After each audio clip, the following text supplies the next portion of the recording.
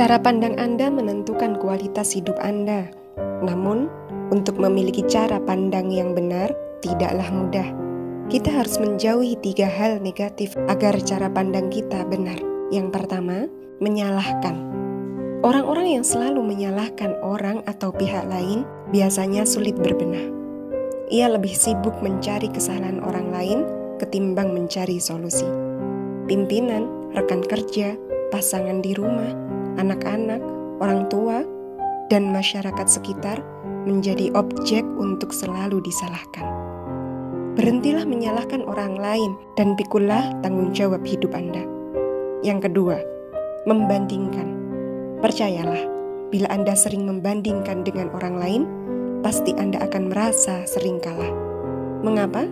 Karena Anda membandingkan dengan sesuatu yang tidak Anda miliki tetapi hal itu dimiliki orang lain. Anda juga membandingkan dengan sesuatu yang Anda tidak mampu. Sementara itu adalah keistimewaan orang lain. Apa tidak boleh membandingkan? Ya boleh. Bandingkan hidup Anda saat ini dengan masa lalu Anda. Kemudian bersyukurlah dan bersabarlah. Yang lebih dahsyat, bandingkan hidup Anda saat ini dengan kehidupan yang ingin Anda capai di masa depan. Setelah itu, kejarlah.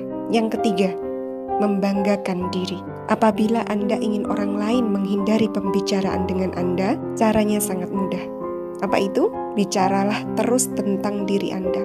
Ingatlah pepatah kuno yang berbunyi, ajaklah orang lain bicara tentang diri Anda, maka mereka akan mendengarkan. Ajak mereka bicara tentang dirinya, maka mereka akan mencintai Anda. Kurangilah bicara tentang aku, tetapi berbanyaklah bicara tentang Anda.